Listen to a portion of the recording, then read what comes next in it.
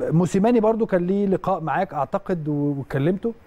آه في النادي يعني آه آه كان موجود ده. وكده سلمت عليه وقلت له ربنا يكرمك وتفضل ماشي على على انت التألق البطولات والحاجات دي كلها. وهو قال لي أتمنى إنك ترجع بسرعة وأنا بتفرج عليك دايما وكده ومستمتع بأدائك وكده. كلام يعني منه. بساطه خالص آه. يعني إيه إيه رأيك في موسيماني بالمناسبة؟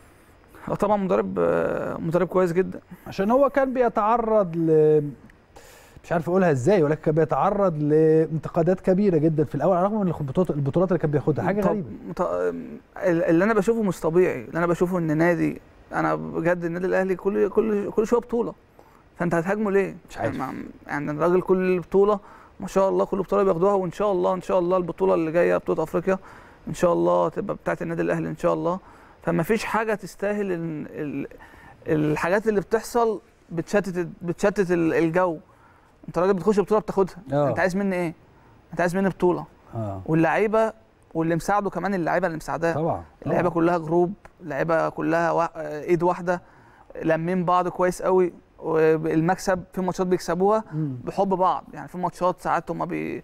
بيلعبوا أحسن حاجة وفي ماتشات ما يبقوش أحسن حاجة طبعا. بس سبب ارتباطهم ببعض وسبب إن هم قلبهم على قلب واحد وقلبهم على فانيلة النادي ربنا بيكرمهم.